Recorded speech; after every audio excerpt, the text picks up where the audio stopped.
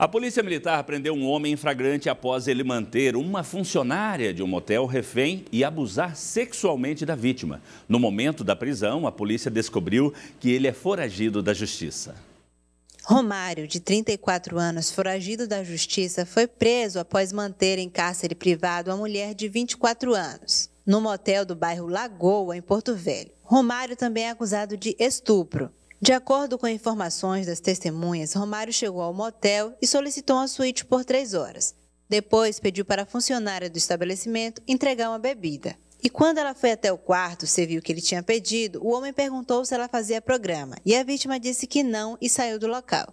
Após um tempo, um quarto ao lado do Romário ficou desocupado. Então a mulher foi fazer a limpeza e ele aproveitou desse momento. Ele invadiu o quarto com uma faca e falou que ela iria fazer o programa de qualquer jeito. A partir de então começou o estupro. Ele falou para ela não fazer barulho, mas mesmo assim as colegas de trabalho sentiram falta da mulher e perceberam que ela estava trancada no quarto com o homem. A PM foi acionada, iniciando uma negociação. O acusado exigiu a presença da imprensa e da sua irmã como uma condição, o que foi cumprido pelos policiais. Ele deixou a vítima sair e se entregou. Foi levado para o departamento de flagrantes e lá descobriram que o Romário é foragido da justiça. A vítima foi encaminhada para fazer exames e tomar um coquetel no Semetron.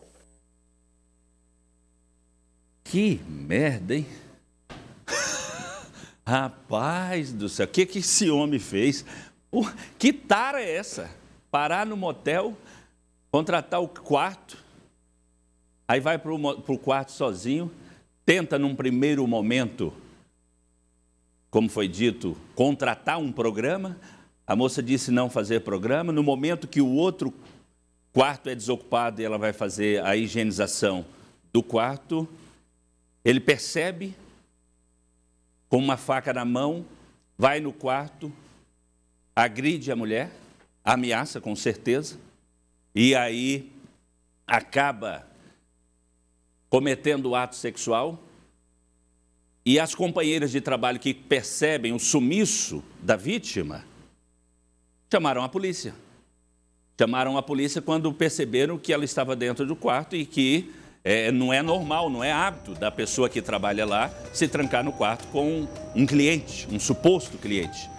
E aí, veja só o que aconteceu. Foi parar atrás das grades, uma ótima ação da Polícia Militar, mas lamentável né, o, o que ocorreu, essa questão do abuso sexual. É preciso que o Estado, que o município ofereça é, um atendimento a essa vítima.